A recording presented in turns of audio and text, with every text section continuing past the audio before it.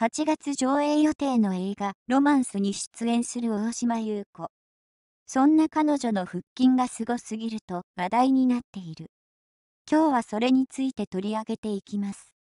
元 AKB48 の大島優子さんが、インスタグラムで腹筋を披露。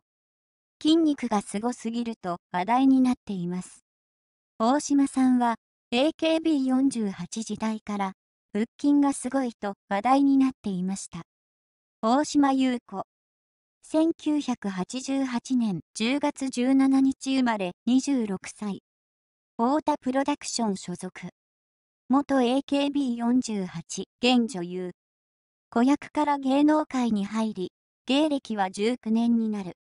へそ出し衣装でガチダンスを披露した大島が、腹筋が割れるかと思った、と息を弾ませると、宮沢タスク校21らが、いや、バリバリ割れてますと暴露。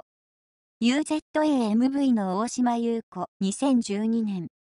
背中の筋肉がすごすぎと、当時話題になりました。さよならクロール MV の大島優子2013年。見事な上腕二頭筋、上腕三頭筋です。三角筋も隆起していますね。大島は運動神経が良く、特に足は AKB で一番速い。体力測定でも1位を取っているというノー1スプリンター。AKB チーム対応大運動会で見せた50メートル走りはもう陸上選手並みと言われています。足腰の筋肉もしっかりしているのでしょうね。昔から筋肉がつきやすい体質とのことで、私が男だったら毎日筋トレしてマッチョになって鏡で自分の体チェックしてうっとりしてるかもねとコメントしている。そんな大島優子がインスタグラムに投稿した腹筋写真が話題に。元 AKB48 の大島優子さんがインスタグラムにオートドとハッシュタグをつけて投稿した画像に注目が集まっています。トップスとボトムスの間からちらりと覗く大島の腹筋が見事。ショート丈のニットからちらりと見えるよし腹筋にファンが大興奮。ファンからかっこいい。